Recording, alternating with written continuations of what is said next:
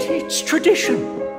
I mean, every year since 1666, when my ancestor Stuart Wartboyle brought back the first platypus from Australia, the Cornucopia Club has gathered to feast on all the animals in the world.